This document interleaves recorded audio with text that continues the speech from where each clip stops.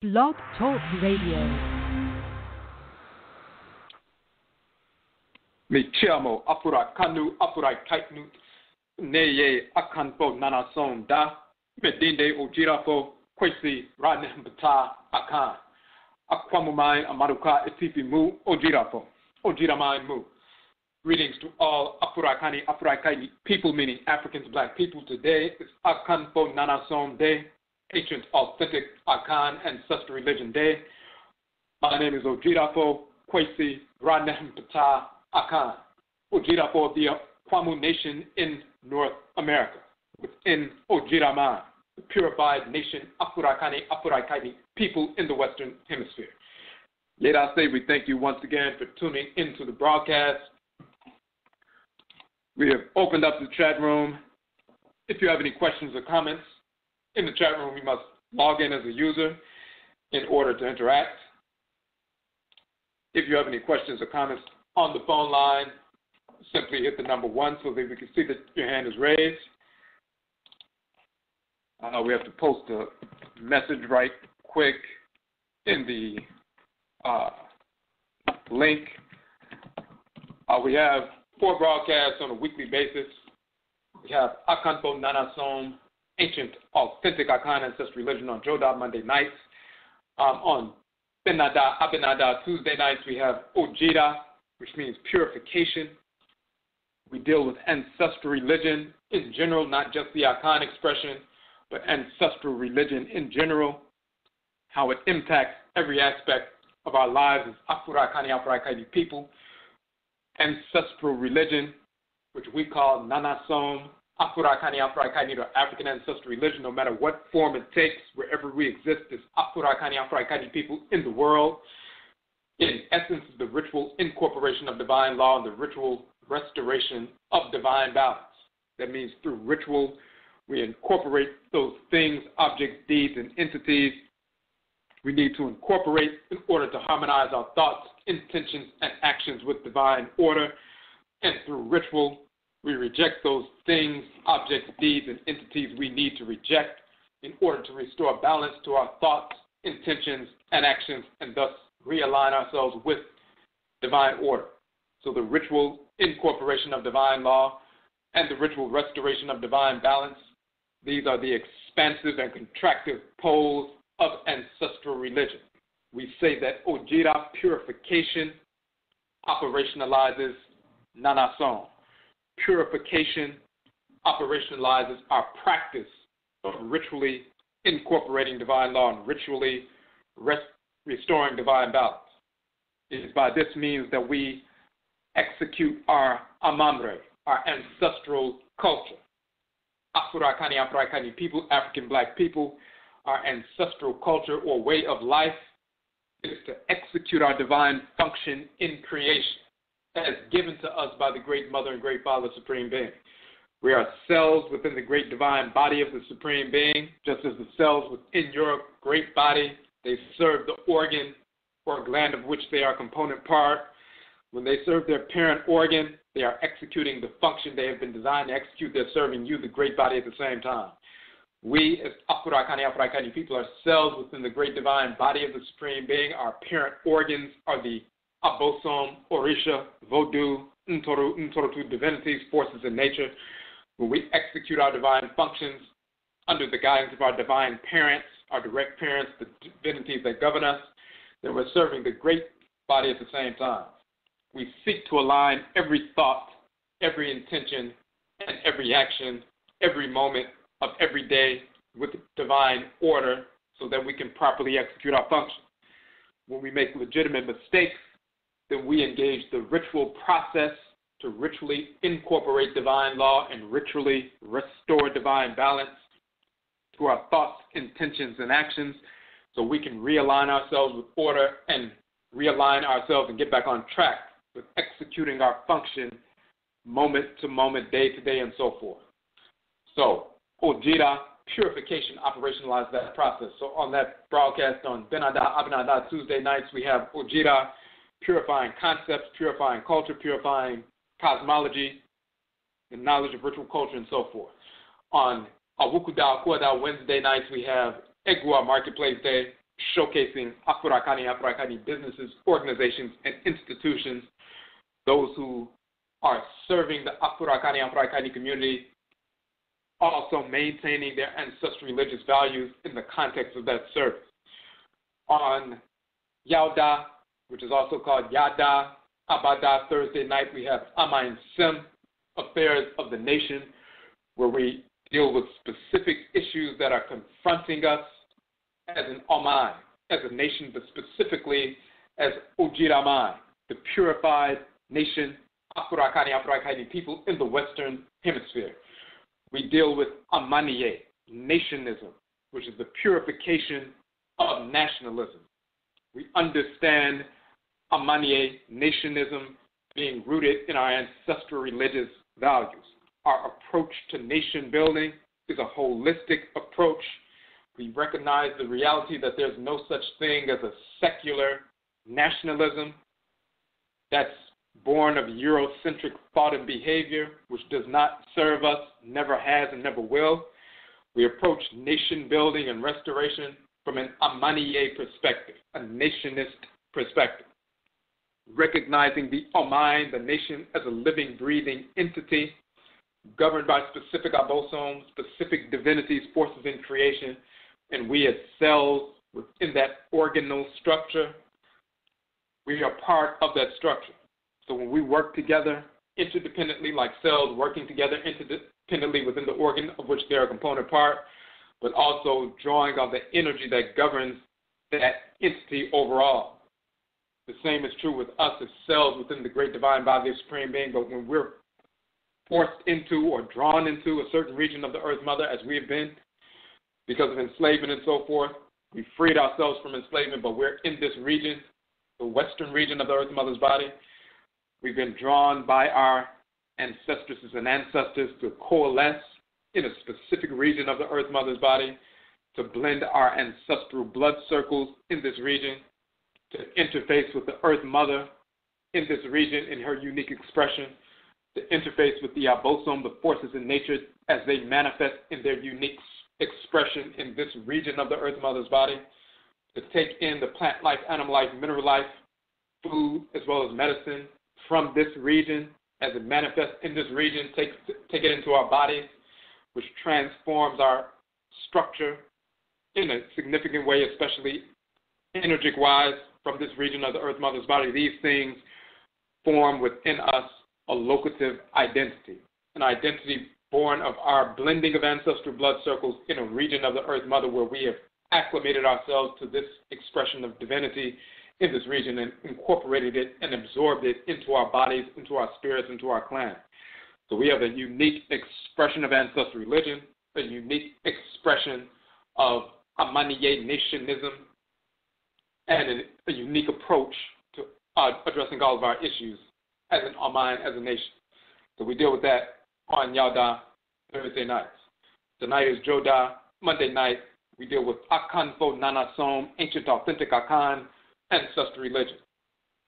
First and foremost, because we are Akan. Secondly, because of the misinformation being propagated regarding Akan ancestral religion from individuals not only in the Western Hemisphere, but from those on the continent of Afrika, Afrikai, who have been infected with white culture, pseudo religion, white philosophy, and so forth. Those infections have been incorporated and woven into the fabric of the culture, and therefore, when they express and promote concepts of ancestral religion and culture and so forth, it's an expression that's an infected expression.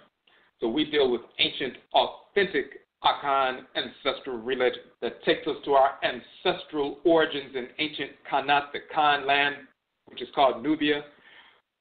At the fall of ancient Kamit in northern Kanat, some of our people migrated from the Khan land, Kanat, Nubia, to the western part of the continent and reestablished Akan civilization, empire of Kana or Ghana, a couple of thousand years ago, was reestablished and we continued our culture.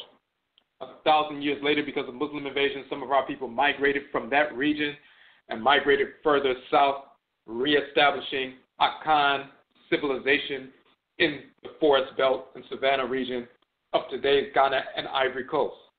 Hundreds of years after that, some of us were taken from those regions and forced into North, Central, South America, the Caribbean, and Europe during the Musuo Ketie, the Great Perversity, the enslavement era.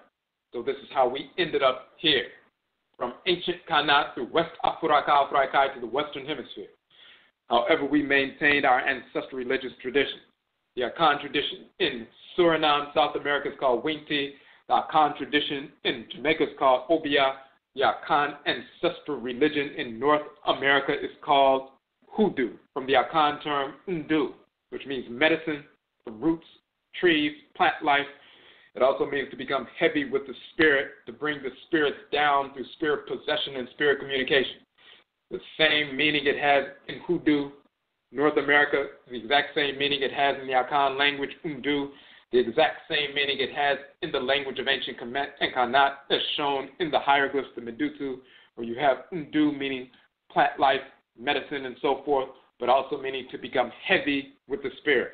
It's also a title of ancient Nubia, the Undu land, and the people called the Undu people.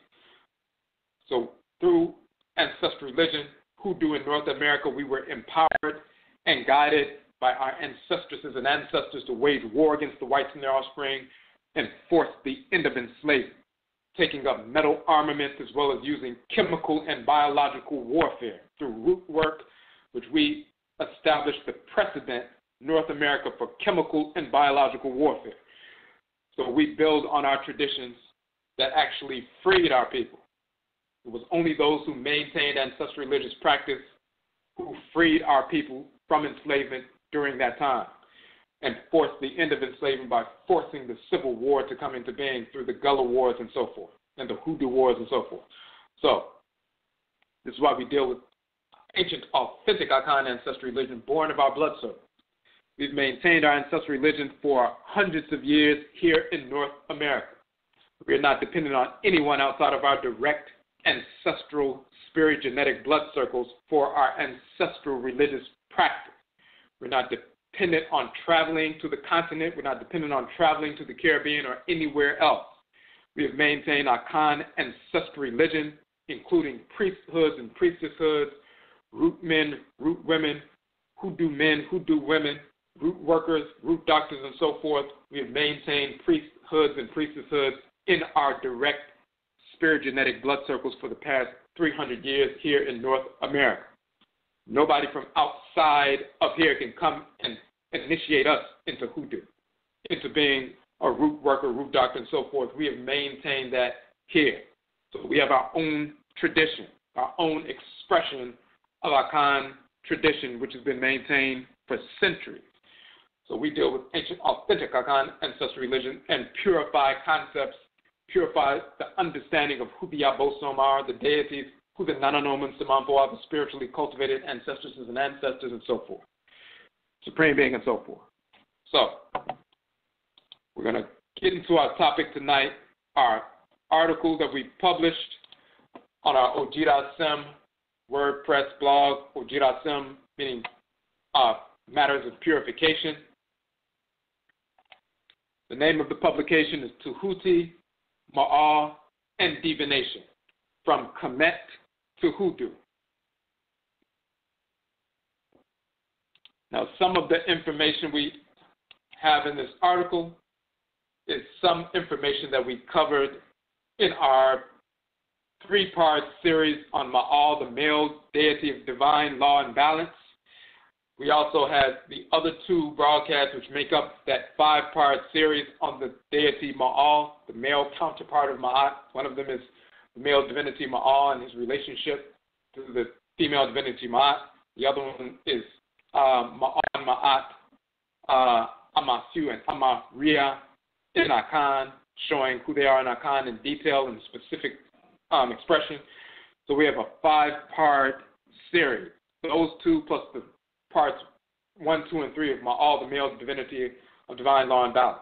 A five part series that we did on Blog Talk we published this article, which includes some of that information, but all of this is going to be included uh, in an upcoming publication, which will include this information plus more.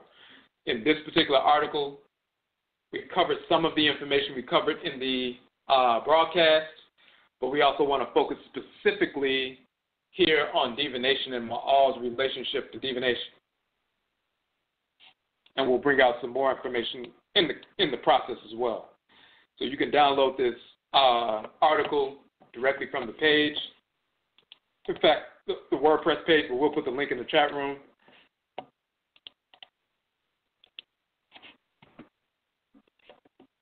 All right.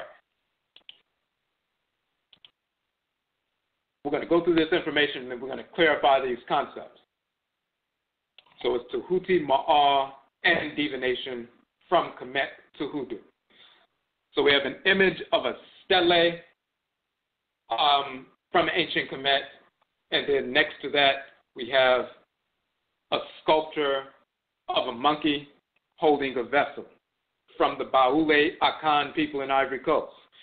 So as, as you know, you have about 11 million Akan people in Ghana, about 45% of the population.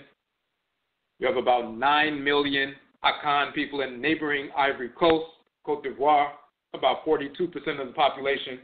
So collectively, there are about 20 million Akan people in between Ghana and Ivory Coast, one of the largest ethnic groups on the continent, and of course, in the western part of the continent, one of the largest groups from which we were taken and forced into the Western Hemisphere.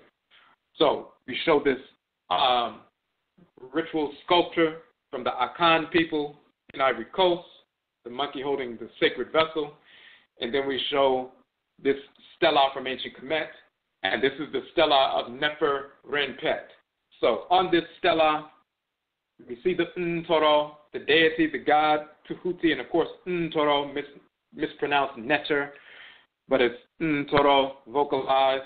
The same term, mm, Ntoro, meaning divinity, is used in the Akan language for deity.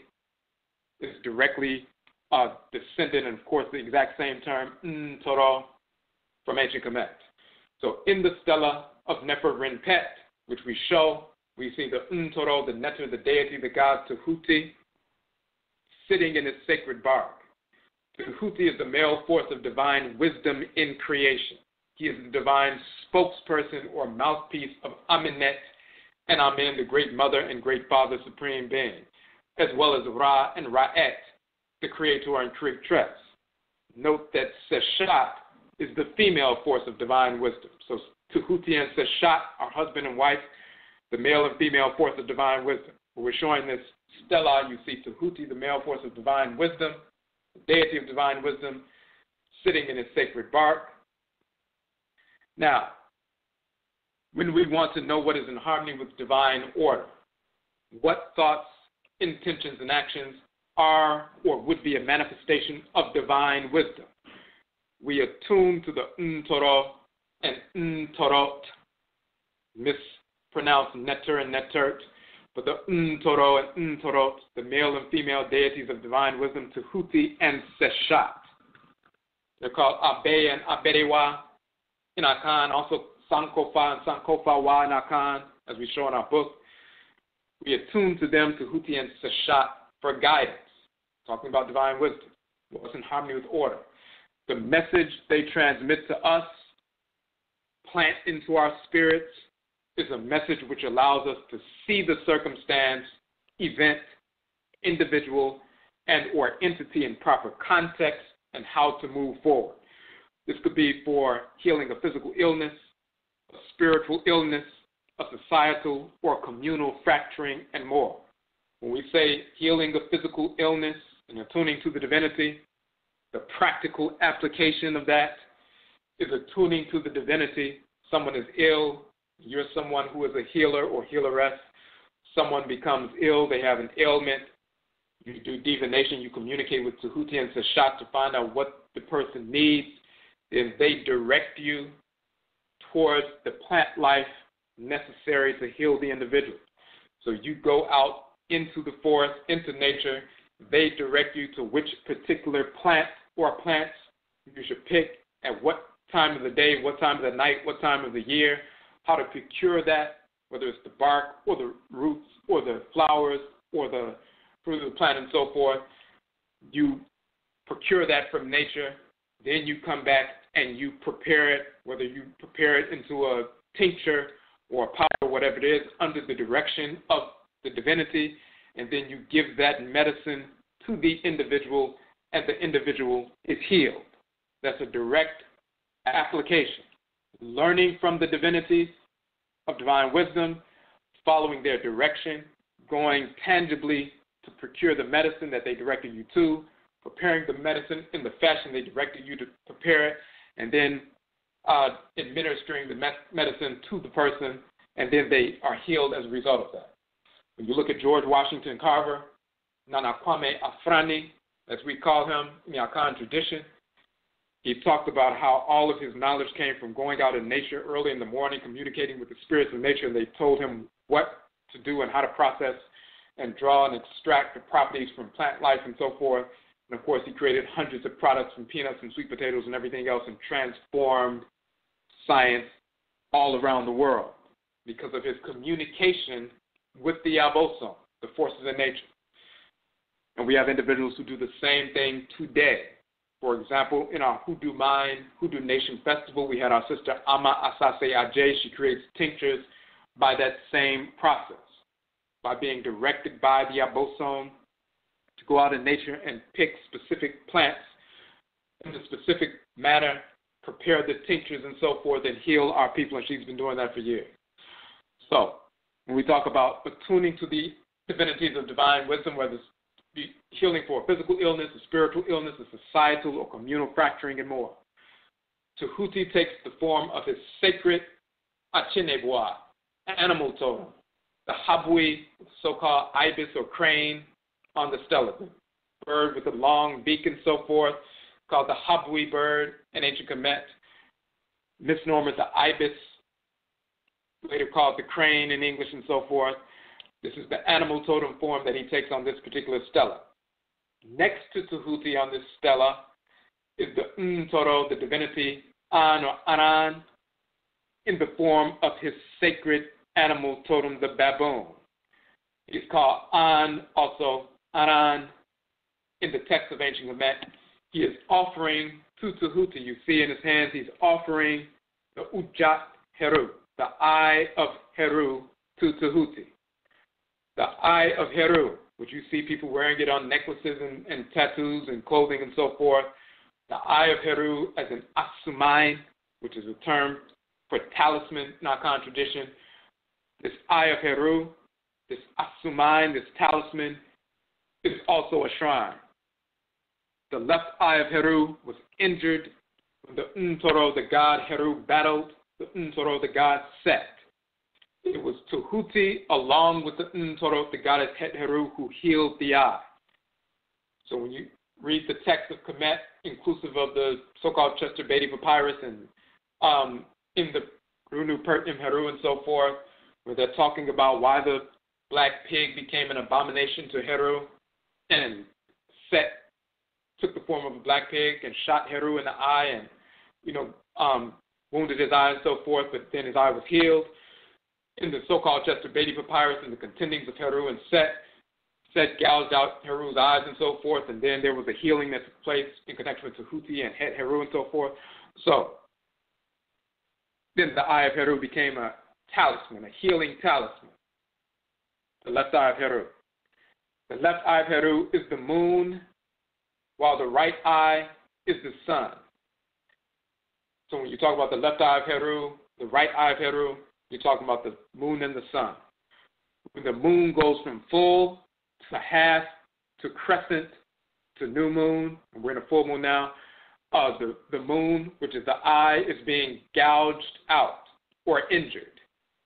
When the light returns to the moon and it fills back in day by day, it fills in, the eye has been healed or restored. The moon reflects the divine light of the Aten, the sun, the Atenit, so that we can see in darkness.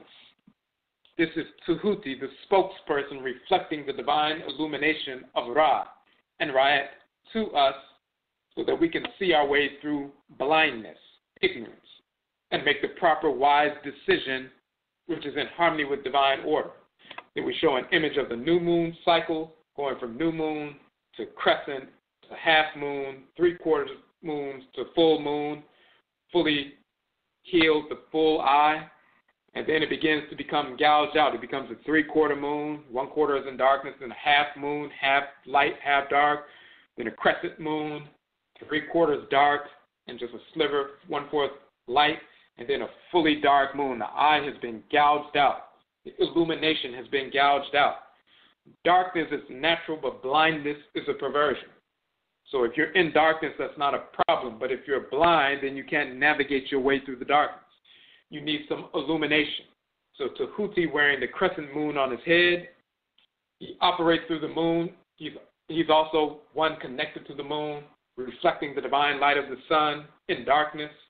So in the text, the book of the cow of heaven, when Ra, as the creator, decides that he's no longer going to rule on earth, and he says he's going further up into the heavenly realms, and he makes Tehuti his divine representative on earth, and he gives Tehuti the crescent moon and so forth.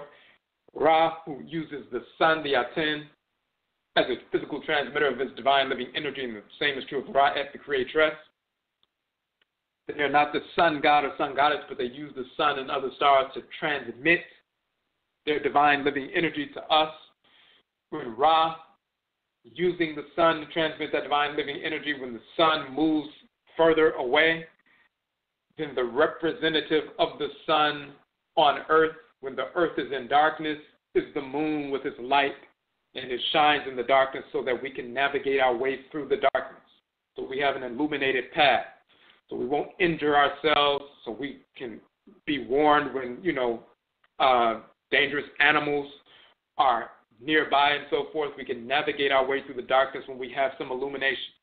Tehuti as the spokesperson, mouthpiece of Ra and Ra'et, he's receiving that divine light and transmitting it to us. Now, so we show that information. Moreover, the gravitational pull of the moon affects the rising of tides on Asase, Earth, the increase in water, an increase in fullness is akin to spirit possession, going under. Water is recognized in ancient Kamit and across Afuraka, Afuraitkait, Africa as a gateway to the spirit realm. The messenger, Ntoro deity, An or Anan, proffering the eye of Heru, the moon to Tehuti, who wears the crescent moon on his crown, is part of an of an oracular divination ritual. What you're looking at at that on that stela is an oracular divination ritual. This is something that Egyptologists could not tell you. This is something that we practice on a daily basis all across Africa, Africa, and in North America and the Western Hemisphere, and hoodoo and juju and vodun and so forth. So we can readily identify this ritual instantaneously. But Egyptologists could not do that because they're not engaged in that practice. And a pseudo scholar who believes they're Afrocentric or African centered or involved in some uh, remixing of Kemetic spirituality couldn't tell you that either if they're simply mimicking what the whites and their offspring are saying in blackface. This is oracular divination ritual. The eye of Heru is the divination vessel through which Tehuti, the high priest, gazes to learn what spirit forces are affecting the issue in the physical world. The symbolism is critical to understand because it references a functional reality within the ancestral religious practices of our people, ancient and contemporary. So now we give the evidence in the Akan tradition amongst the Baule subgroup of the Akan and Ivory Coast, West Africa, Africa, Africa, we find that the very same sacred monkey is the assistant of the Obosomfo, the high priest. The oracular sculpture shown here, which we show in the article, is found on the shrines of Akan diviners. So you see a little monkey with his knees bent, and he's holding a vessel just as you see, and he is the he is on the shrine, the assistant of the Obosomfo, the high priest, in the shrine house. In the same fashion, you see the stela of Neferrenpet, the high priest, Tehuti is there, and his assistant is the little monkey proffering the eye of Heru. In Akan tradition, you have the Obosomfo, the high priest, and then his assistant is the little monkey giving him the divine vessel. The oracular sculpture shown here is found on the shrines of Akan diviners. The monkey is holding the divination vessel. This is the eye of Heru, utilized for divination, including water gazing, so that the Obosomfo, the high priest, can communicate with the Abosom, the deities, and Nananom Nsamanfo, the spiritually cultivated ancestresses and ancestors. The same is true in the Yoruba tradition in Nigeria, in West Africa, Africa, Africa. We find that the Orisha, the deity of divine wisdom, is Orunmila, Tehuti in ancient Kamit. He had a pair of twins with his wife Peregunlele. The twins were male and female and were called Edun. Edun is the term for monkey. The male Edun, so he had him and his wife, they in certain stories in Yoruba tradition, they say the first twins that were ever born were born to Orunmila, the Orisha of divine wisdom, and his wife Peregunlele. Male and female twins were born and they were called Edun. Edun is the Yoruba term for monkey. The male Edun went to live on earth with Orunmila. The female Edun stayed in the heavenly realm. But the male Edun went to live on earth when Orunmila went on earth and so forth. Because of his appearance, he lived amongst the animal kingdom because he looked like the, the monkeys and so forth. So they called him Edun. The male Edun became a priest of Ifa, the high priest. The male Edun holds the Opon Ifa, the divination tray, while the female Edun, who is actually the goddess or Orisha Odu, which is Ma'at, holds the sacred calabash of existence, which is the Igba Iwa Odu. We thus have the sacred monkey being an assistant to the deity of divine wisdom in Yoruba, a sacred monkey being an assistant to the high priest who invokes the deity of divine wisdom in Akan, and the sacred monkey being an assistant to the deity of wisdom who is the high priest Tehuti in Kamit. This is the same ancestral religion, the unbroken living tradition with the same deities. Now, one of the titles of the monkey, An, also in the book of the Cow of Heaven, is spelled Aran, A-N-A-N, Aran.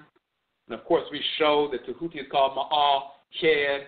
He is true of voice and so forth. And Ma'al Shed in the book of the Cow of Heaven is um, requested by Ra to come with him to the mountainous region. And to Tehuti, Ma'al Shed, goes up to meet with Ra on the mountain. And Ra takes the form of divine light. And he tells Tehuti, You are going to be my representative on earth.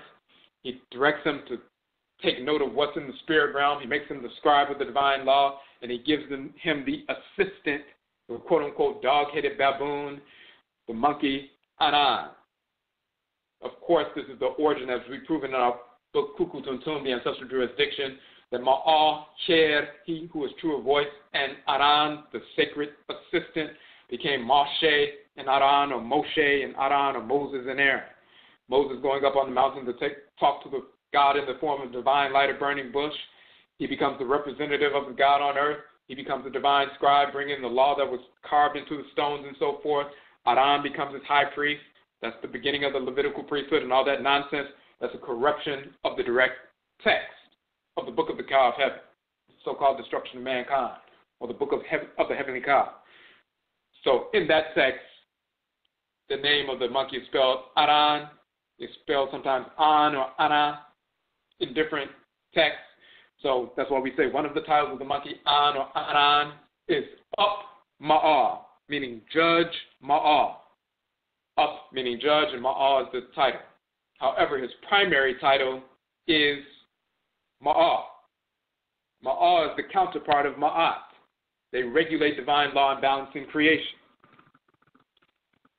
In the papyrus of Hunefer, we see that Ma'at the female deity of divine law and balance is sitting atop the equilibrium point on the Ma'at, the scales of divine balance. So we show that image. Hunefer is standing there. We see the scales of divine balance, and the goddess Ma'at is sitting atop the equilibrium point of the scales. Now, the deceased person's heart is being weighed against the feather of Ma'at to see if it is light enough, not weighed down by disorder, to balance out the feather. If it does balance out the feather, the spirit of the person can pass on to the ancestral realm to live in peace after a subsequent trial with the deity Maa. We covered that in our part two of our that three part series, Maa, the male divinity of divine law and balance, where you go through the 42 enunciations of Ma'at, meaning you invoke 42 deities and have them search out your spirit to prove that you didn't violate the aspects of creation that they govern. And once you pass that, and you have your heart weighed against the feather and it's found to be in balance, you pass that trial in the dual hall of Ma'at, or the Usek Ma'ati. Then you go to the trial with the god Maa and you go through an interrogation with Maa. And if you pass that interrogation, then he will ferry you across the divine river, the waters that are the dividing line between the physical realm and the ancestral realm, and then you can go dwell with your other spiritually cultivated ancestors and ancestors in harmony and dwell there while you're sojourning in the ancestral realm for the next hundred or more years until it's time for you to reincarnate. So we show that we show her sitting atop of the equilibrium point of the scales. That's in the papyrus of Hunefer. In the papyrus of Ani, we find that it is the male deity Maa, also called Up Maa or Judge Maa. He's also called An or Anan, in the form of his sacred animal totem, the monkey, who sits atop the equilibrium point on the scales. And one key for with regard to linguistically, Aran can be Aren in Coptic, Aran in earlier vocalizations. Aran becomes Eran or Erun in the Yoruba, meaning the monkey. Aran or Ane in um, ancient Kemet, meaning the monkey. And you'll see in Coptic it's Ene.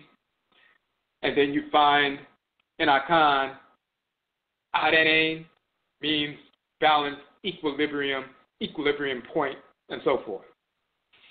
So when you look in the papyrus of Ani, the monkey, Aran, or Ane, is also on the equilibrium point, Ane, of the scale.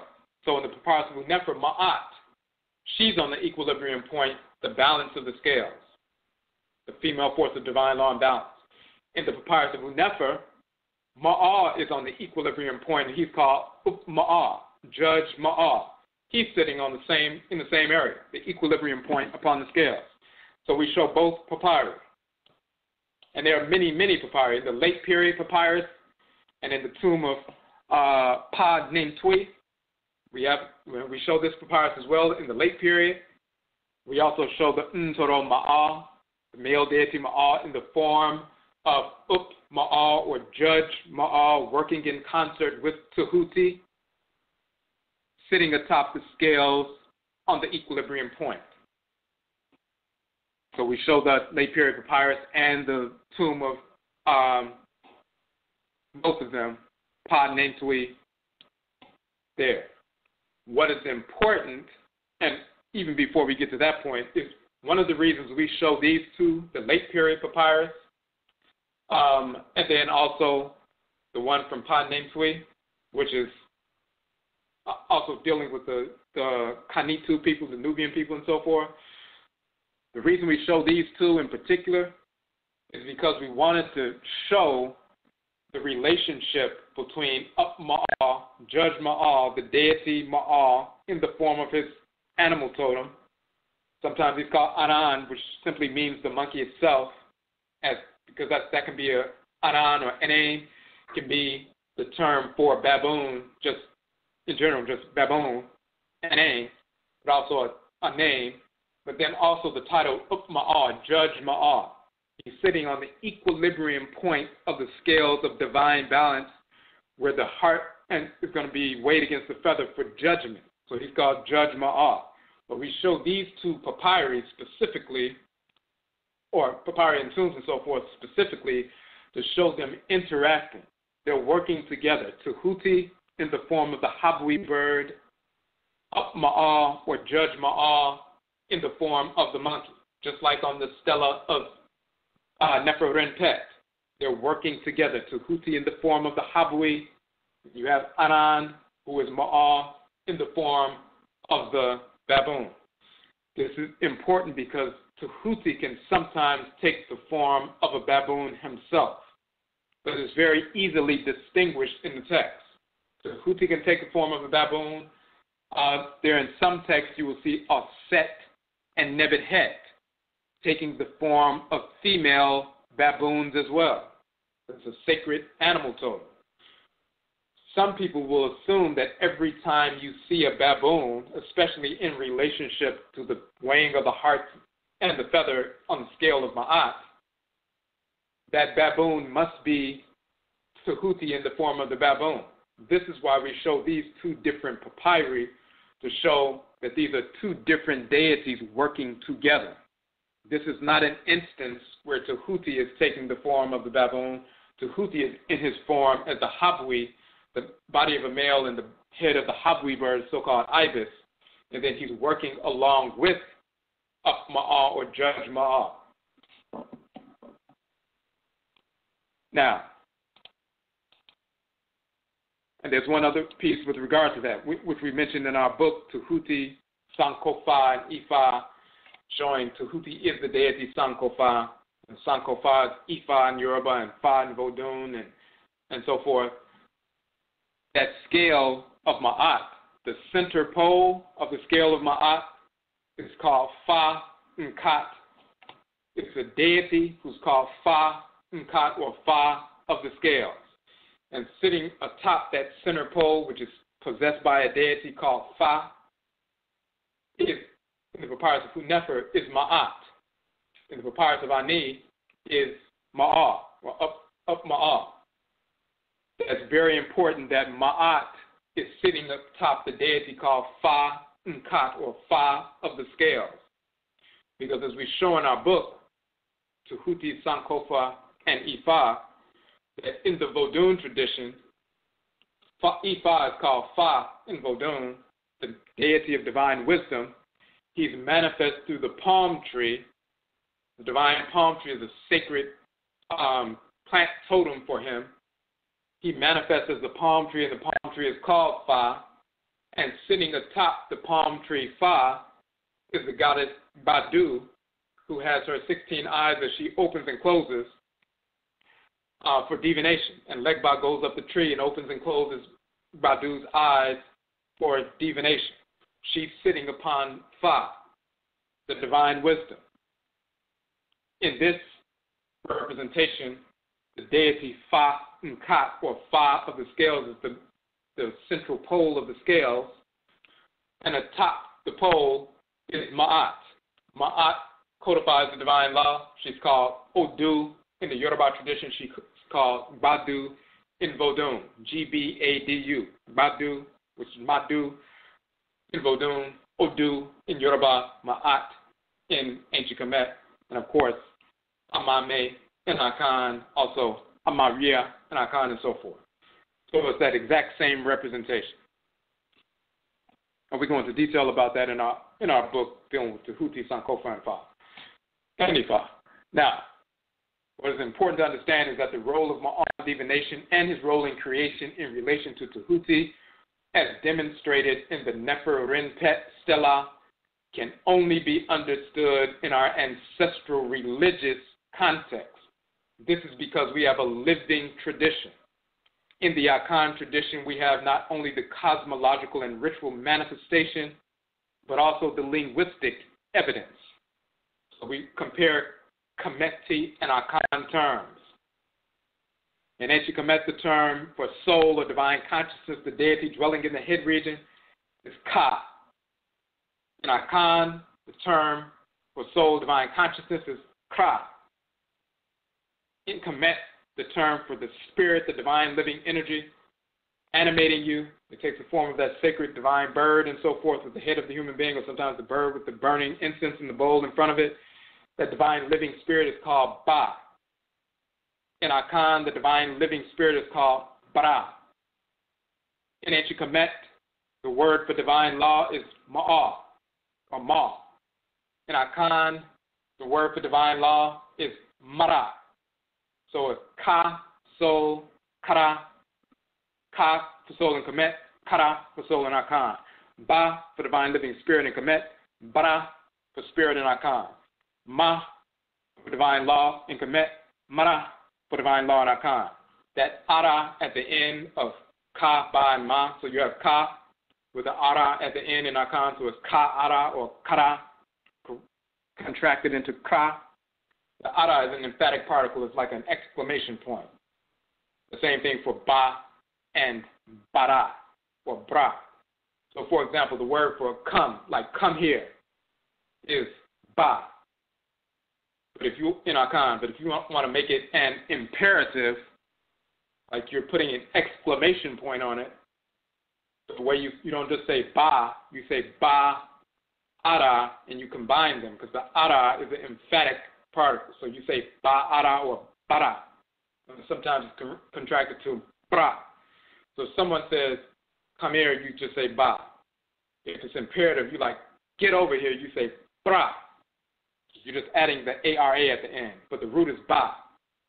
Just like the root of kara is ka. So, ba, spirit, divine living energy, ma, law. The same three words, the same meanings in Kamit and Akan.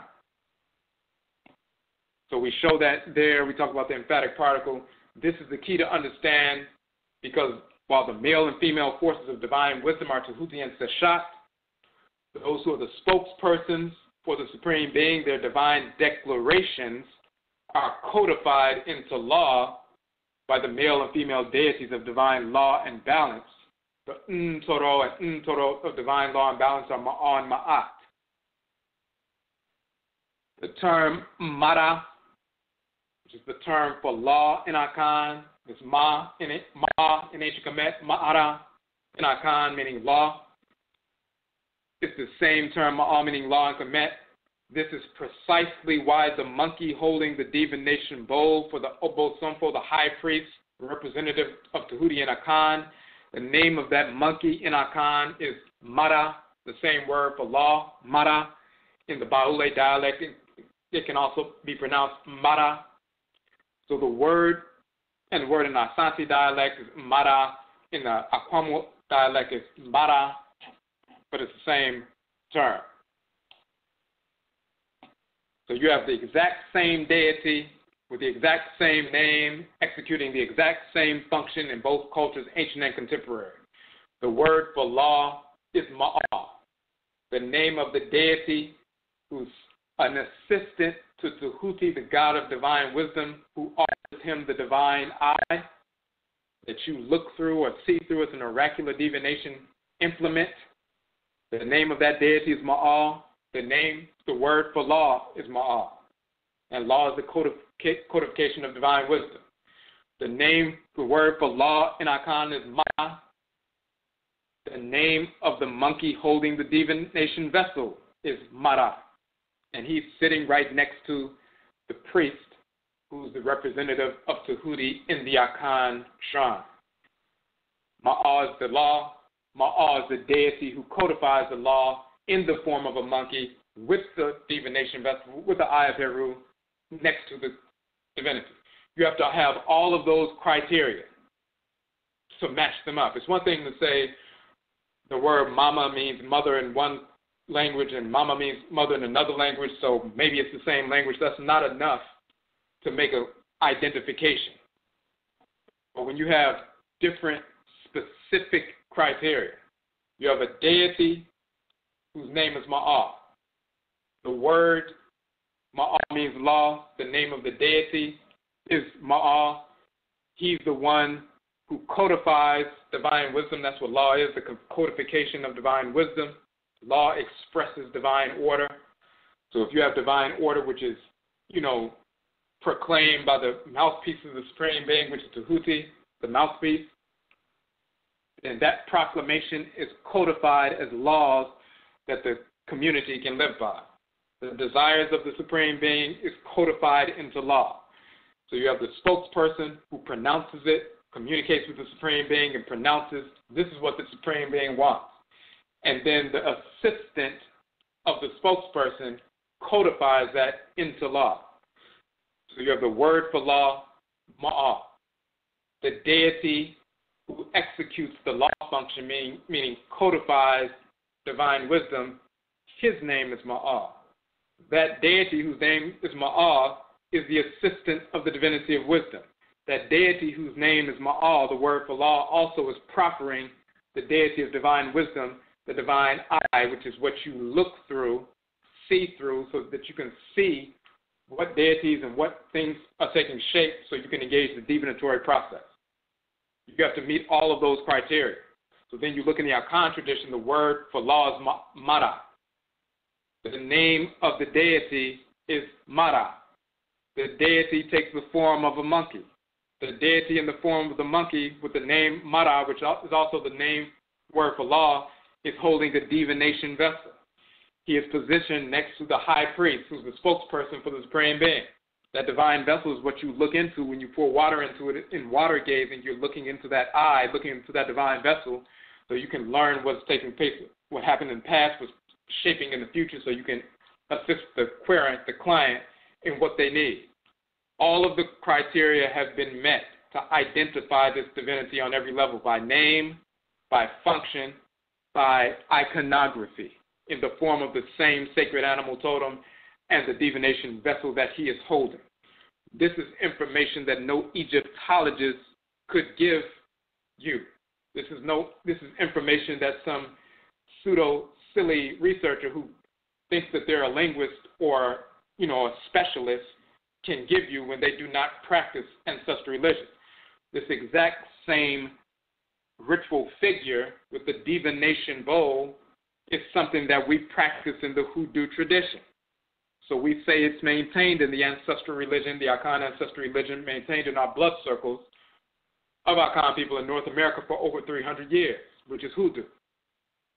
In the hoodoo religion, we continue to have this mara, this ma'a sculpture figure, typically wood, clay, or fabric, on our shrines next to or holding our vessels of divination, adebisa, divination, which includes water gazing, peering into the gateway, the water, to the spirit realm for direction from our abosom and nananom and samanfo, the deities and the spiritually cultivated ancestresses and ancestors. We have that. We still practice that. I've had that divinity and that shrine, which is a kudu, which is a shrine vessel for water gazing, for over 14 years on the shrine. So when we look at the stela of Neferrenpet and Sitsuhuti and the monkey standing there with the divination bowl, any Akan person instantaneously knows exactly what that is because they, especially the ones who are priests and priestesses, they're engaged in that function every single day. They communicate with that deity Tehuti who is sitting there. They, they have that monkey literally holding that divination vessel right in their shrine right now.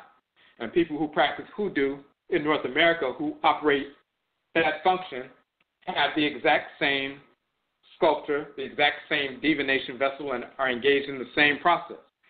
That exact scene that you see on the stela of Neferrenpet becomes alive in the hoodoo tradition because we are acting that out on a regular basis when people come to us for adebisa, divination. So these are the kinds of things when we talk about Odwira, our purification, purification of concepts, purification of understanding, cosmology, and so forth. This is what we're talking about. We know exactly who Ma'at Ma'at are, for we communicate directly with them via spirit possession and spirit communication, including divination, on a regular basis. We know the distinctions between Ma'at and Tehuti, Ma'at and Seshat. Now, we also have to take into consideration this relationship, which most people do not understand, between the deity Maa with the representation, sometimes of the monkey and so forth, when they're spelling the name. Sometimes they use the sickle, of course, that represents the sound Maa, and the, the forearm with the open hand, Maa. But then sometimes you see the the plinth or the earth formation, the earth mound, and so forth. We're showing our uh, document Usek Ma'ati, the dual hall of Ma'at. We're talking about the divine force of law and balance. When they're talking about the dual hall of Ma'at, where you go and you know become uh, judged after transition. Why is it the dual hall of Ma'at or Ma'ati? Why do they have the symbol of the eye with the sickle near the eye, cutting or splitting near the eye? And then why do they have the elevation of earth or the plinth as part of the symbol of Ma'at? And sometimes that's that's just the symbol of Ma'at in and of itself. And why is there dual hall of balance? In, in our article Usek Ma'ati and the article Maa Ma'at and Judgment and so forth, we show in the upper region, as above, so below, of course, on two levels, talking about the spirit realm and the physical realm, but also within our physical bodies. The upper region, quote unquote, heavenly region of the body is the head. Then you have the transitional phase, which is the neck, and then the lower region, the earthly region, is the physical body. In the upper region, if you're looking for um, the dual hall of Ma'at or Usek Ma'ati, they show you exactly where it is by showing the Medutu, the hieroglyphs of the eye with the sickle between the eye. What is between the eyes? They're pointing you, they're using, it's like GPS, they're directing you exactly to the space or the shrine of Ma'at or the dual hall of Ma'ati within your body. The vestibular system, which is within the inner ear, is what allows you to maintain your balance up in the head region. The two ear canals are the dual halls of Ma'at that lead to the two aspects of the vestibular system where you are able to maintain your balance, and it's on the inside of the head. But if you were looking at someone from the outside, you see the two eyes, and the sickle is in between the eye and undergirding the eye and so forth. If you go within the person's head, you'll find that location is the inner ear on both sides, the left and right um, aspects of the inner ear, that's the vestibular system or the balancing system within the body in the upper region. The ear canals are the shrines that lead to the vestibular system, which is, are the two dual halls of Ma'at. That's where you maintain your balance. If you're leaning over to one side and leaning over to the other side, and then you restore your balance, you send energy up to or a, a blood offering to the shrine of Ma'at. You send some blood, which carries some energy. You send a blood offering of surge to the shrine of Ma'at, the vestibular system within your head, within the inner ears, and so forth. That's the dual hall of Ma'at where you gain, maintain your balance. That's in the heavenly region or the upper region. In the earthly region of the body, what is the center of balance or the center of gravity? That's around the pelvic region. This is why you see the plinth that, or which is originally an elevation of earth, that's spelled out as Maa or Ma'at. That's the center of gravity or the center of balance within your body in the lower region. That is that elevation of earth. That's where they show the kings and queen mothers seated on thrones on top of a plinth. That's around the pelvis and so forth. So that's the center of gravity in the in the earthly region, and the dual hall of Ma'at in the quote unquote heavenly region or the heady region is between the ears and so forth. That's the shrine of Ma'at on top. The shrine of Ma'at and Maa on the bottom is in the pelvic region where the center of gravity is. But we need to go further because that's not the only reason that they have the I sometimes spelling out the term Maa as well as Ma'at. Yes, when you see the I, sometimes you just see the sickle and the forearm with the open hand, with the palm turns up, turned upwards, or inclusive also of the uh, the uh, plinth or the formation of earth or elevation of earth and so forth. But then sometimes they use the eye. Sometimes they use the eye alone. And they'll use the term uh, for eye, or meaning to see, but then at the same time, the word maa spelled out phonetically also means balance. So some people will say, well, uh, when it's using an eye, that's just talking about balance or sight or the God of sight, and that's all that is, and that's different from the word maa meaning balance. So there's no correlation, and there's no God called maa, even though we show and prove specifically in the pyramid text, the pyramid text of Unas, the pyramid text of Pepi the First, the pyramid text of Pepi the Second, Neferkara, the pyramid text of Mer En Ra. We show the male deity Maa in all of those texts. And there are references in those texts or um, um, representations of those texts where the determinative symbol of the falcon on the standard, representing that it's a deity, is part of the name spelled out. So we've shown that conclusively. So some fools were saying that, you know, Maa doesn't exist. But we proved that if you listen to part two of our, our, our broadcast, all the male deity of divine law and balance, we show him in all of those pyramid texts where he exists and he's referenced. In the oldest religious text in existence, Maa is talked about. Then we show in the late period text, the Nessie Min papyrus that comes at the end of the uh, dynastic period, the deity Maa shows up in the book of knowing the manifestations of Ra. Talking about when Atem is talking about he was alone, he didn't have a place whereupon he could stand, he laid a foundation within and through the male deity Maa. It doesn't say Ma'at, it says the male deity Maa. And when it says the male deity Maa in version A of the history of quote unquote history of creation. Then they have a version B um, as well, referencing the same deity. Because it says Maa, some white Egyptologists just said, oh, well, they're probably talking about Ma'at. And then brainwashed black people following the white Egyptologists just said, oh, it means he laid a foundation in Ma'at. So they just began to repeat that. They never looked at the actual text. They repeated it all the time. You've heard many people talk about the book of knowing the manifestations of Ra, the evolutions of Ra, the book of knowing the coming into being of Ra, so forth, and overthrowing Apep. People repeat that text all the time. Right there in the text, it says he laid a foundation through the God Maa and then began to create.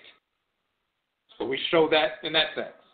Then we show, in, of course, in the 11th hour of the Duat, the Shat Im Duat, the male deity Maa, in the 11th hour. And it clearly shows his name Maa. There are no missing hieroglyphs. Some clown said that it must be some missing hieroglyphs.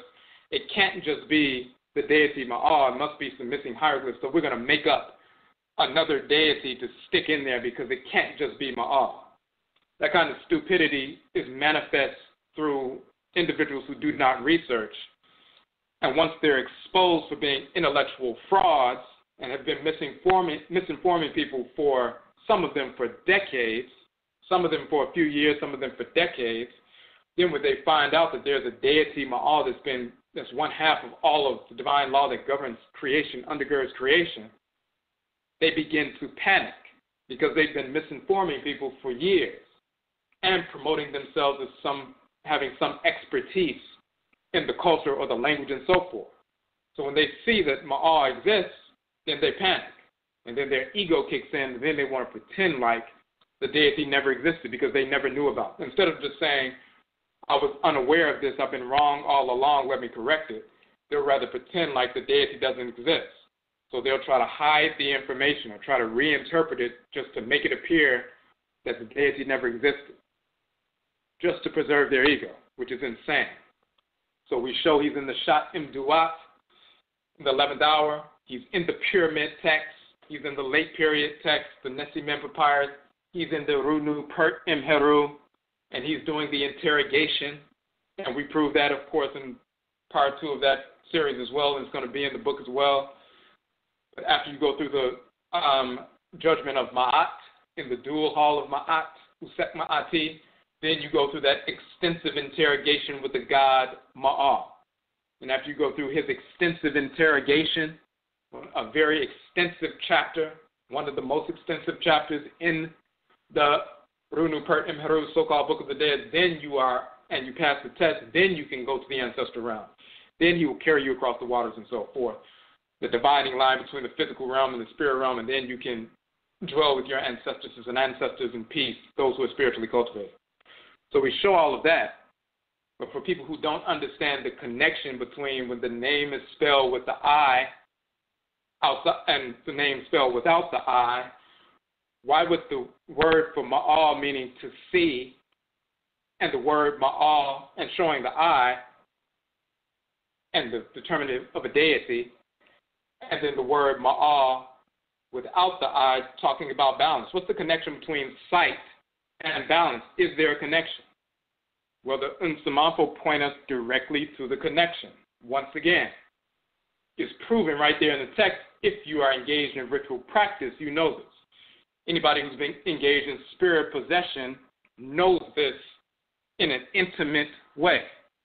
But we can give you the proof even without uh, spirit possession. We can just give you the basic proof and you can manifest it right now. What's the connection between maa meaning sight showing an eye and the word maa meaning balance? The pseudo researcher would just say these are two different deities. They have nothing to do with each other. Maa meaning sight with an eye, maa meaning balance. Totally unrelated. That's what the fool would say. Now, if you right now stand up, stand up, and then stand on one leg for 10 seconds. And this is part of a ritual practice that we do within our with our, ourselves, with our children, and so forth.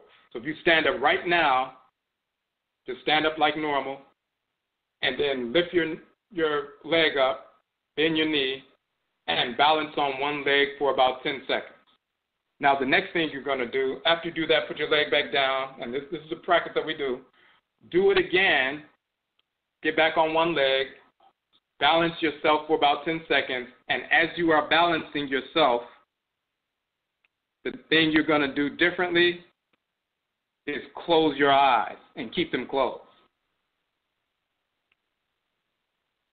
Now, those who have done that recognize that when they're standing on one leg, they can balance themselves easily.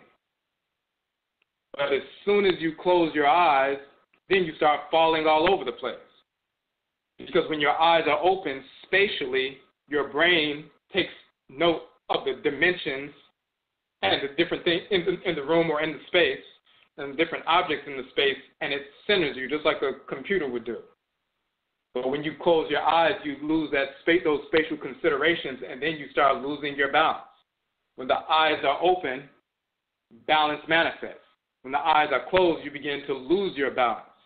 And then you have to focus on the internal balance, which is down there by the center of gravity, which is in the earthly region you know, near the pelvis. But anyone who engages that simple exercise, balance yourself, maa, ma'at, balance yourself on one leg with your eyes open, very simple. Balance yourself on one leg, hold it for a few seconds, and then close your eyes and see what happens.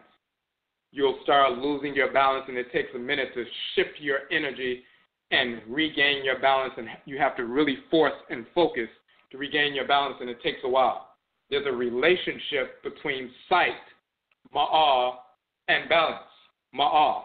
They're directly related. You can see the balance. You can attune to the divine order. You can see the codification of law. When you see things in creation that are harmonious, you're peering into or you're you're gazing into like water divination and so forth, you're peering into that divine order. When you close your eyes and it becomes internal, first you lose that balance. When you open your eyes, you regain that balance. That's the direct relationship physically and spiritually to my all meaning law and balance, my all meaning sight. This is why they show the deity with an eye. They show him proffering an eye.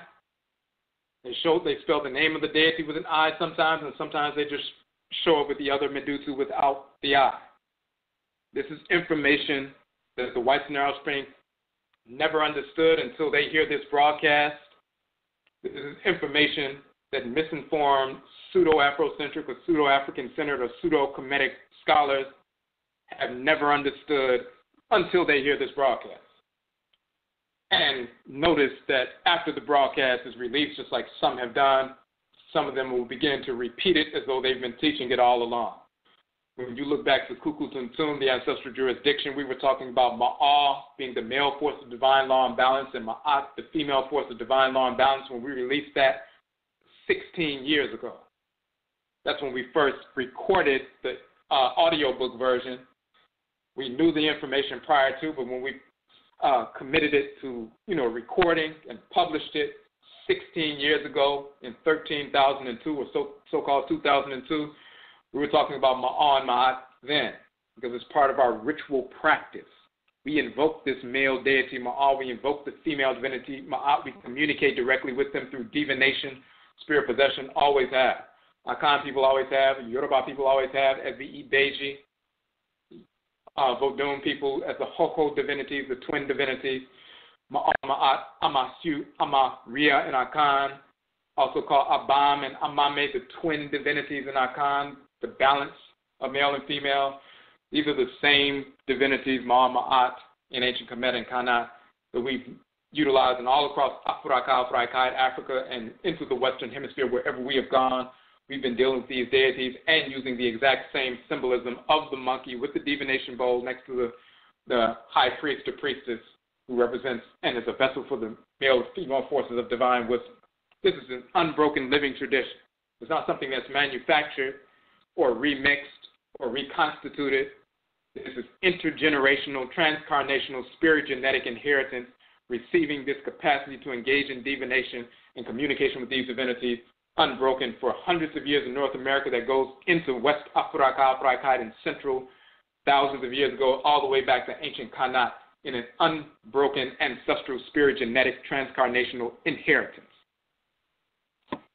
This is why we can bring clarification to this information, and those who are pseudo researchers cannot. That's the difference. Ritual practice actually engaged in a living culture.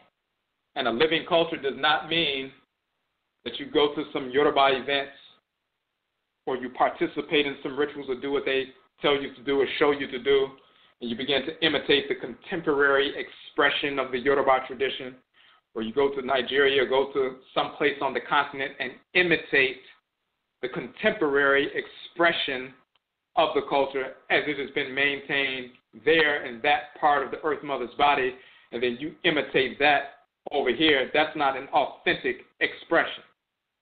Authentic Yoruba tradition in North America is the Juju tradition, which has been maintained for hundreds of years in the blood circles of those Yoruba people who were forced over here. They continue to practice, but they interface with Onile, the Earth Mother, over here, and her unique expression of energy over here, and the unique expression of the Orisha over here, and the plant life, animal life, and mineral life over here, and when they blended ancestral blood circles in the context of interfacing with Onile, the earth mother, over here in this region of her body, and the specific plant life, animal life, and mineral life in this region of her, the earth mother's body, then they forged that Juju tradition or that Yoruba tradition that's unique to their blood circle here, and the manner in which they approach things is based on their proper navigation of life in this region of the Earth Mother's body, which somebody on the continent could never teach them. Only their ancestresses and ancestors who are Yoruba intergenerationally and transcarnationally could show you how to navigate life harmoniously in this region of Onile, the Earth Mother's body. So the only authentic Yoruba tradition in North America is the Juju tradition, which has been here for 300 years. The only authentic Akan ancestral religion in North America is the hoodoo tradition, which is the Akan tradition that has been here for over 300 years. The way we learn to interface with Asase Afua, the Earth Mother, in this region of her body, blending ancestral blood circles, interfacing with the manifestation of the Abosom in this region, their unique manifestation in this region of our body, them showing us what animal totems There are animals over here that don't exist on the continent, like a possum, them showing us how to use possum bones for divination. And our common person from Ghana can't come over here and teach you how to do possum bone divination. They can't teach you how to do cockle shell divination or seashell divination as manifest from this region. Our Nsamanfo, who are Akan ancestresses and ancestors who learned to interface with this region of the Earth Mother's body and the manifestation of the Abosom, the forces of nature, as they interface and, and manifest in this region of the Earth Mother's body, and our blending of ancestral blood circles in this region, and our consumption of plant life, animal life, mineral life from this region, which went into the makeup of all the cells of our body, including in the sperm and ovum cells, which will produce children whose bodies resonate at the frequency of this region of the Earth Mother's body, not in exclusion to what they brought from the continent, you know, genetically, but in addition to that, we have additional material that's transformed genetically. So we have a different energy complex that's unique. And only those ancestresses and ancestors who were spiritually cultivated, who navigated their way through this new region and incorporated that ancestral protocol that they established with regard to the Abosom and the Nsamanfo in this region, they're the only ones who can pass that down to us through our genetic blood circles, our, our spirit genetic blood circles. They have that dispensation of Tumi or divine power, so called Ashe in Yoruba, Tumi and Akan, that comes directly through our patriclan and matriclan blood circles and the abosom that govern our patriclan and matriclan blood circles. Only our people who have been here can show us how to navigate our way here. So the only authentic Akan ancestral religion in North America is the Hoodoo tradition. Everything else is imitating what people are doing in a contemporary fashion on the continent. This is why there's so much missing, and people find things missing in their practice. And they don't know what's missing in the practice because they're imitating a contemporary expression manifest by their cousins on the continent, which fits them well, but there's much that's missing for us over here. The only authentic voodoo tradition in North America is the voodoo tradition preserved in the blood circles of those Fon and Ewe and related peoples who were forced over here hundreds of years ago, and they maintained that voodoo tradition. Not, we're not talking about Haitians migrating to Louisiana. We're talking about a hundred years before the Haitians migrated to Louisiana. Our people were already forced over here and brought the voodoo tradition in their blood circles. That voodoo tradition is the only authentic voodoo tradition in North America amongst the people who were here. Those who came from the continent maintained it in their blood circles for hundreds of years and passed it on intergenerationally in transcarnation. The same is true of the Wanga tradition, which is the Ovambo tradition, the Ngangan and Nganga traditions, the Fang and Bakongo traditions, and so forth. These we maintained in our blood circles. These are the only authentic expressions. We have our own expressions, Uh, our own priesthoods, priestesshoods, and so forth. So that's the information we wanted to go over tonight. And of course, we would also say that, which we can get into some more detail in another broadcast. We touched on it in the other broadcast on Ma'an Ma'at, but when we're talking about those, the divination bowl or the divination tray, the Oponifa in the Yoruba tradition, the Kuduo in the Akan tradition, whatever the divination implement is. You also recognize that Maa and Ma'at codified the divine law. They also codify the divine law through the combination of symbols like veves and Adinkra symbols and Abramu, gold weights in Akan tradition, and so forth. These are codifications of the divine law of the Supreme Being. They become matrices or shrines. The Medusa, the hieroglyphs, they are not just, it's not like English when people just write letters and so forth. And of course, those letters are derived directly from our ancient script. But the Medusa are pictures. And those pictures of animals and deities and other things in creation and so forth, they are matrices for the energy of specific abosomes. So they are magnets for the abosome. When we draw those pictures or paint those pictures or make those sculptures and those carvings and reliefs, they're no different than a person, person practicing voodoo, drawing veves, which are sacred matrices that draw magnetically the energy of specific Vodou into the area, the ritual area. They're no different than adinkra symbols, when used on shrines and used ritually, each ge- geometric pattern or combination of patterns resonates at a specific frequency which draws the energy of specific abosom, specific nananom nsamanfo, spiritually cultivated ancestresses and ancestors of specific clans into that ritual space. So that's part of that codification of divine law as well. We're not just talking about writing books or writing treatises or writing laws down. We're talking about the actual scribing, drawing, painting, sculpting, and so forth, codifying through symbolism, through geometric form, concretizing divine law in geometric form, which becomes shrines. Okay, so we have a couple of uh, questions on the phone line.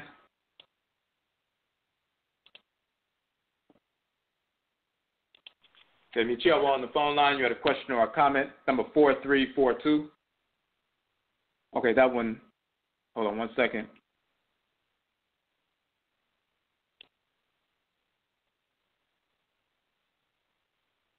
Okay, one of them dropped.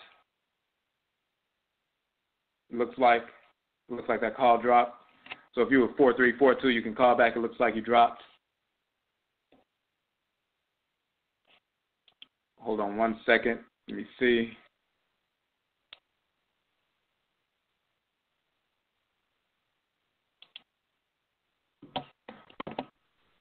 Okay, Michelle Well on the phone line number 2081.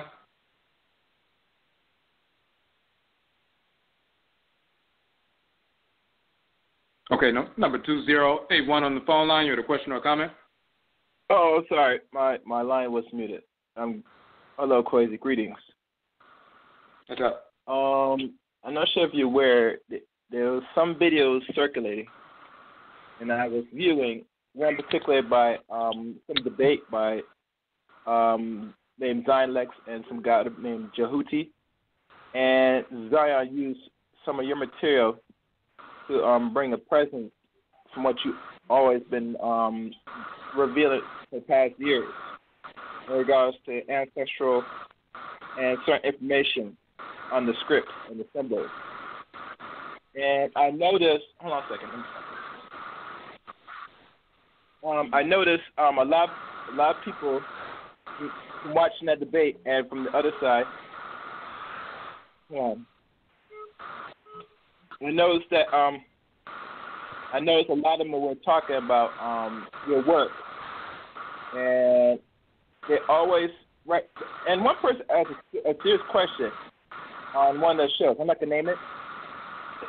When they ask about where did you get your information or reference, they um they never noticed that um you all the work you revealed was already revealed already. So I'm not sure in response to the information that you come out so what the real aim about you know disseminating your information? That's my question. Say that last part again.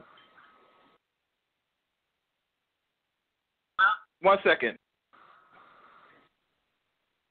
Yeah, I would say I, I would say um that um a lot of people are viewing your work and they already trying to say there's certain things that either they don't understand or they're trying to look for something. Um, a bunch of like,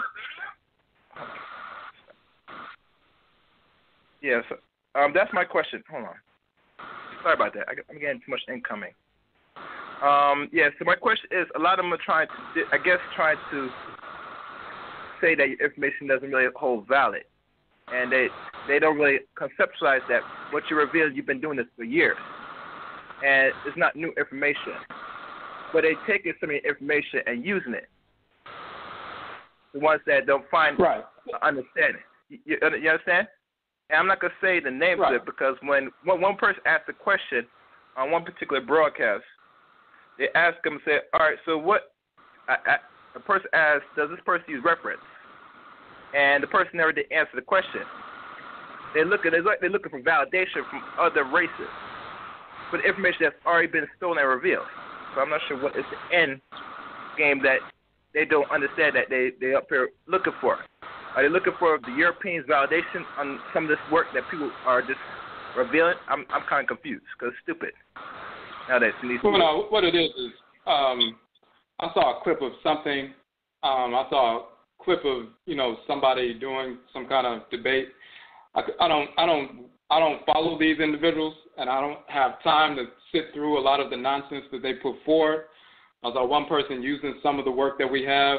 He was misrepresenting it. Somebody, you know, calling himself a Hebrew and everything. He was misrepresenting, you know, the information because he really didn't understand it. Even though I saw he referenced, you know, a portion of what we were doing. Um, I saw somebody else put together a little, uh, little video um, trying to debunk the God Maa, and everything in the video was totally stupid. The, the ignorance of the individual is astonishing because everything he said was inaccurate and debunked literally by the work that he was referencing that I already put up. So I don't know who the individual is, but whoever they are, they're intellectual fraud. It was pure nonsense. Anybody who actually listened, for example, they tried to say that, you know, um, the deity Maa didn't exist. Then they go to the Shat Im Duat 11th hour, and he's standing right there and his name is right next to him in the text. So then they decide to manufacture an idea that, well, maybe it says Maa because the, rest, the other half of his name is missing from the text. So they ran and found another deity, Ma'ahes, and said, oh, he's really, that, that deity really represents Ma'ahes, which of course is, doesn't say that in the text because they're scrambling trying to cover for the fact that they're intellectual frauds.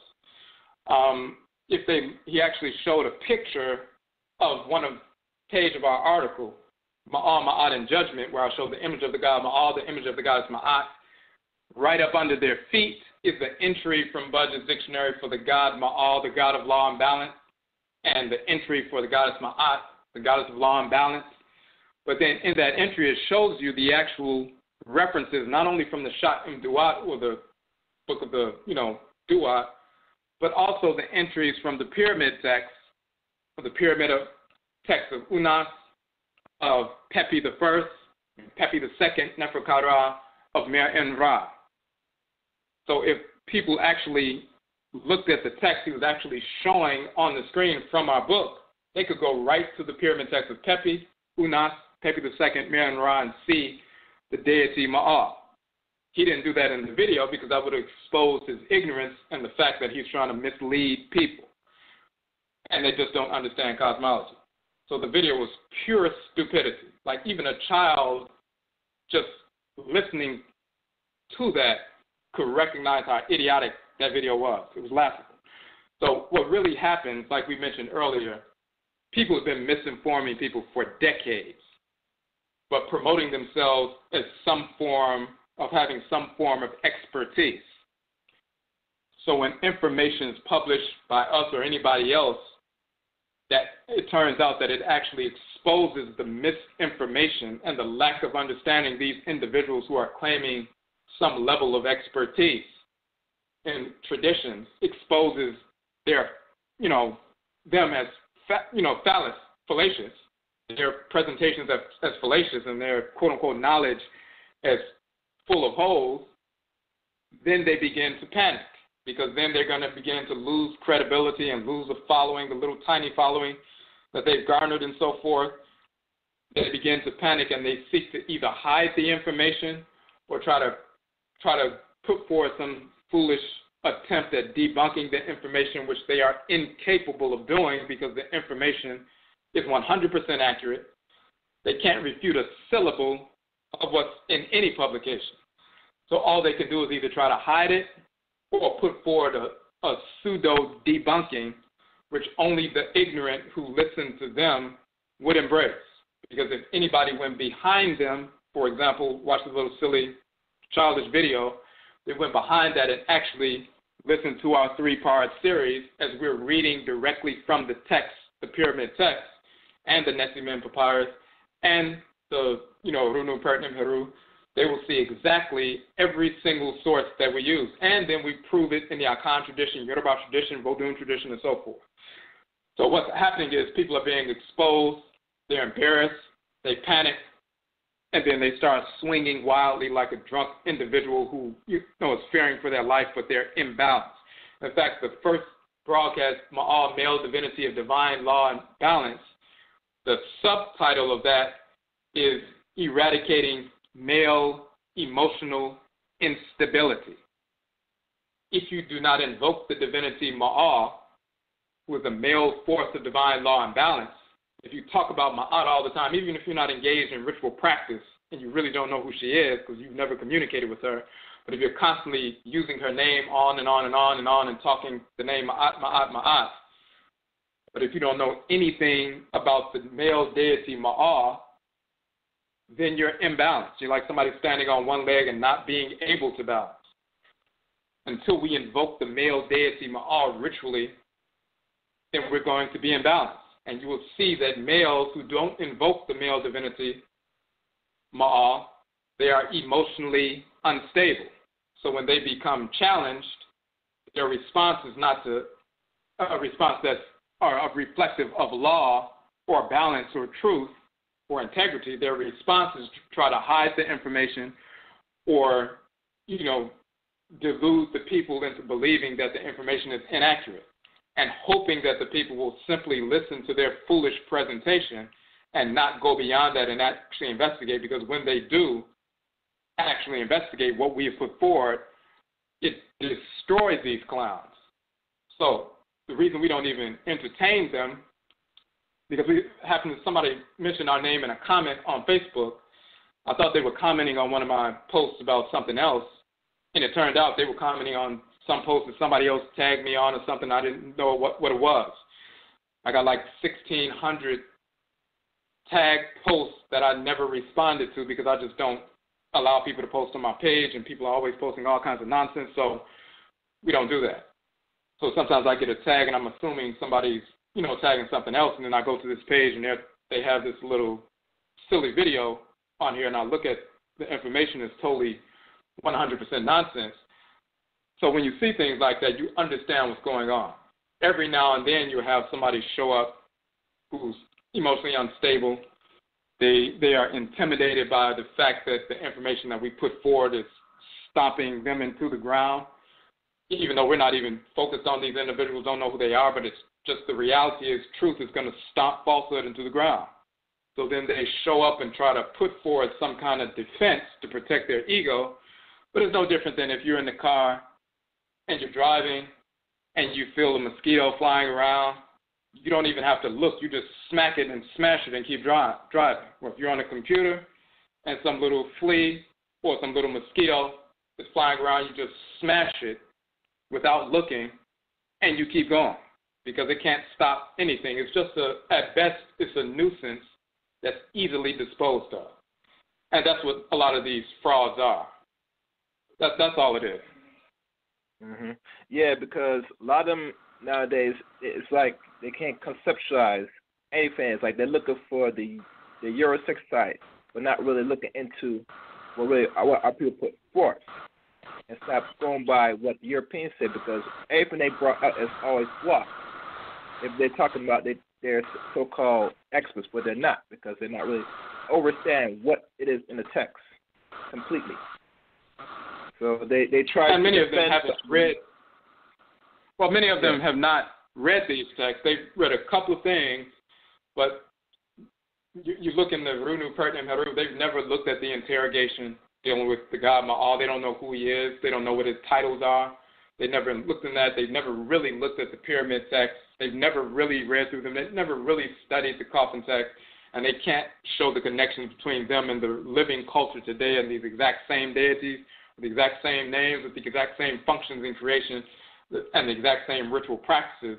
They have no knowledge of that whatsoever. So they're really bankrupt with regard to experience, and they they, they can look beyond the text and can't even they can see a text right in front of them, and they don't know what they're looking at. They can look at, for example, at the stela of Neferrenpet with the you know monkey Anan proffering the eye of Heru to Tehuti. They they can't see what's happening. But somebody, like we said, who's Akan or somebody in the Yoruba tradition and so forth, as soon as they see that, they know exactly what's happening because they do that every single day. And they literally have that monkey with the divination bowl sitting on their shrine right across the room when they're actually looking at this this um, image. That that tradition never stopped. So these people have no experience, and they their intellectual capacity is like that of a mosquito. So they just get smashed, and we just keep moving. It's it's that simple. All right. All right. Thank you for answering my question, Kwesi Madase. Okay. What's up? Madase.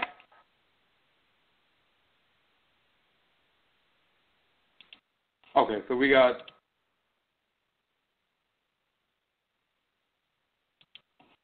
Hold on one second. One more call on the phone line. Give me a Chill on the phone line number zero two one seven. You had a question or a comment? Yes. Um, good night, Brother Kwesi. Um, you the um, the palm is a totem for um, beauty, and almost to the end of um, your, your broadcast tonight said that um, um, when when that is used. Well, hold on. Your, your um your sound was kind of going in and out a little bit. Okay. Let me turn up the phone a little bit. Just a second. Uh, okay. All right. Is this better? Uh, a little bit better. Go ahead. Yeah. yeah. Um. Yeah. You mentioned that the um the palm is a totem for uh, Tehuti. And when uh, certain totems are used ritually um, by Afro-Kanyan, um, that uh, summons the energy um, of the gods. Would you say that um, because the palm is like a common item, the palm and palm products like the palm brooms and palm wine that is used at ceremonies, etc. Would you say that um, just in the common um, day-to-day things and not just a ritual practice, that that also um, summons the energy of Tehuti? It can because um, we, and it's not just Tehuti, it's Seshat as well. So you'll see that if you look in the book, the Tehuti book on Tehuti Sankofa Fa and Ifa, and we're showing, you know, that that's the same divinity in Akan, Yoruba, Ewe, Fon, and so forth. Uh, Tehuti is using the, the palm frond. Uh, Seshat is using the palm frond. Her her headdress is the palm tree. In Akan tradition, you know, Abe is the palm tree, and Abediwa is Seshat, and then Yoruba, you have the palm nuts used for Ifa divination and the palm tree is Fa in Vodun, and Gbadu is sitting on top of the palm tree and all of that. So yes, when we're using different parts of different plants, and one of the sometimes one of the reasons that we would use those sacred plants in our everyday mundane practices is to keep us focused, and it, be, it becomes like a, a miniature shrine, so to speak, that carries the residual energy of the Abosom. So whether it's a palm tree or some other, you know, plant totem and so forth, it's constantly keeping us, you know, um, focused on that kind of energy complex. Okay. Because I mean, I know um, Caribbeans especially they use the palm just to sweep their homes. I mean, they sweep the yard, you use it, you know, and there are other products made with the palm, of course, that are just um, used regularly. But until um, your broadcast, I never really thought of it in, you know, in the ritual sense, really, since it's such a common, you know, item. Right. And it, you also palm leaf is palm leaf divination as well. So okay. there are a number of different ways that it's utilized. Absolutely. Um,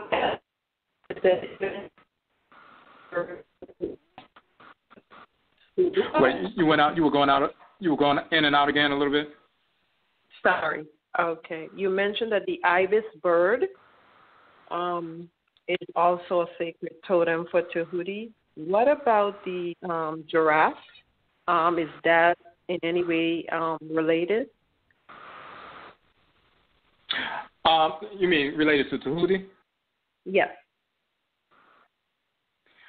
Now with the giraffe, it could be. Now I, I would have to check because there are there is some symbolism, for example, in Kamit uh, with the giraffe.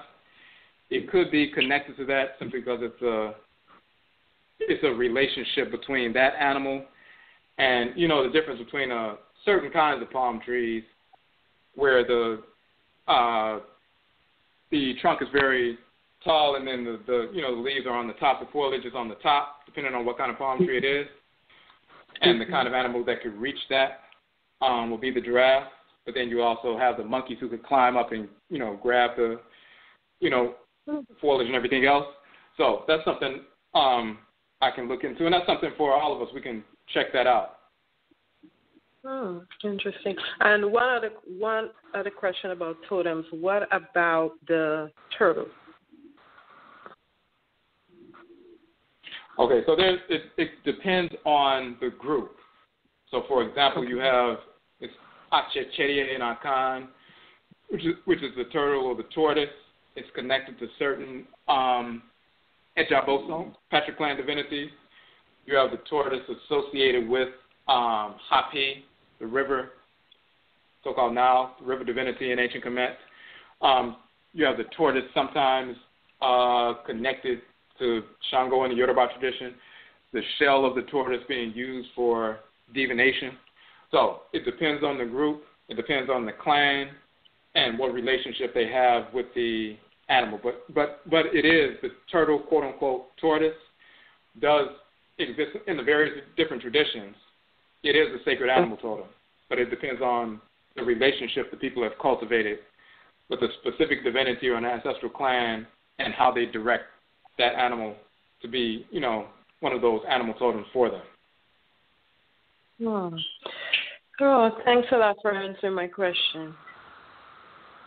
Okay, Medasa, we appreciate the call. Medasa. And it's interesting about the tortoise piece because we did a broadcast on Hapi, the male divinity of the river and so forth, and we were showing specific things.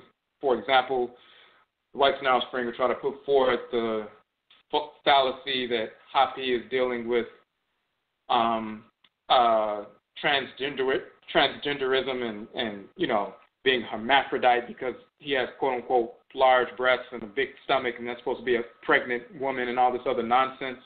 Uh, some people try to say he was originally a female divinity, and then with patriarchy, he was changed into the male, which is stupidity. You have Hapi Reset and Hapi Met, Hapi the South and Hapi the North, the male Nile divinity. The female divinities of the inundation are Merit, Shema, and Merit Met, Merit of the South and Merit of the North, so there's a balance of the male and female. We show Hapi. The reason he's shown with the bigger belly and all of the fat and everything is because of that notion of hibernation. And we went into detail about that whole process of hibernation. Just like bears go and hibernate, hibernate and they take on a great deal of fat so that they can hibernate and spend, you know, a number of months, quote unquote, sleeping or hibernating, and they can use that fat that they built up to nourish themselves while they're in that state in the same fashion they talk about in the text. Uh, Hapi, after flooding the lands and so forth, he goes into hibernation for a period for a number of months. But he has to become quote unquote fat first. Then he can go into hibernation uh, for a number of months until it's time for him to, you know, manifest once again. We talked about that notion of hibernation with bears. Another portion of that talking about that estivation process with crocodiles where they engage in a quote unquote hibernation state where they get in some mud and they stay there for a number of months without moving, without eating, and so forth. But then you also have this notion of the tortoise, which we'll include in that upcoming piece as well, hibernating or withdrawing into that shell as well. So that's uh, there's a relationship between this is why there's a relationship between uh, Tehuti, I'm sorry, Hapi, um, and the tortoise as well. So we're going to get into that. And the tortoise shell being used uh, for divination as well. But again, it has to do with different groups, like in our Akan tradition, certain Ejaboson, Patriclan deity groups have Achechedi, the tortoise for animal totem. Some in, have different uh, and depending on different ethnic groups on the continent, wherever we are, Chokwe and Bakongo, wherever we are, the relationship that they've built with the divinities and how those animal totems are used are unique to the group. So it depends on your relationship depends on what group you're from. All right. Okay, in fact, so, and speaking of that, since you brought that up, and that's a good segue, as a matter of fact, that whole notion of hibernation, the period, the time period of Hapi, he is the, of course, the one that has the vessels that pours water into the river, which causes it to swell and so forth. But the time period of Hapi, which the White Nile Spring calls the water bearer or Aquarius, begins around February 16th. That's that time period of Hapi in the astronomical zodiac, the real zodiac. It begins around February 16th. In the tropical zodiac, it's it's you know it's earlier, but in the astronomical zodiac, where the actual constellations actually are, it begins around February 16th. That's the time of Hapi and Merit, and this is why we're having our hibernation retreat, the Hapi Merit retreat, hibernation retreat, in a number of weeks, February 16th through the 19th. Um, it's going to be in, on Edisto Island, Edisto Island in South Carolina, one of the Gullah Islands. So, as we said earlier, we had four spaces that opened up because of some last minute uh, cancellations. Two of those spaces have been taken, so we have two spaces left. So for those of you who would like to join us on the retreat, February 16th through the 19th, and what it is, you would arrive February 16th on Friday evening or whatever. Um, the sessions will take place on Saturday and Sunday. Of course, you'll leave Monday morning. So, but it's going to be at Edisto Island. We'll have our sessions, Oberima Afurakani Manhood, based on the Oberima book that training session and workshop. I'll be conducting that se- session with the brothers. Um, Dr. Iya Ajua, she'll be conducting the session Obaatine, Afuraikani Womanhood with the sisters based on the book Obaatine, Afuraikani Womanhood. So we're building not only Afurakani manhood and Afurakani womanhood for Odwiraman, the purified nation, Afurakani, Afurakani people in the Western Hemisphere, but people leaving that retreat will be able to uh, conduct those sessions and share that information with the community. We'll also have joint sessions, Batas Asatem, as well as another joint session.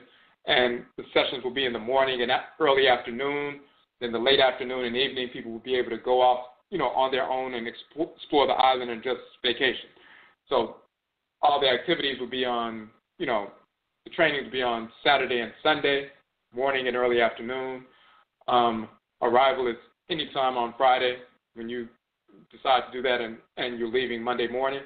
So, two spaces left. You can go to our Hapi Merit page to secure your space. Um, it's only, you know, a, a month and a half away, just six weeks away. So, the first come, first serve. And also, we talked about this on Yao Thursday night on Amain Sim, right before the pseudo holiday and so forth. We are talking about the Black Swan Life T-shirts. We had a couple of people who ordered, so may I say we appreciate, um, you know, a couple of people who ordered as well. But we're still trying to get to that that level, that number, so we can order in bulk the first order of the T-shirts. So go to our Black Swan Life page.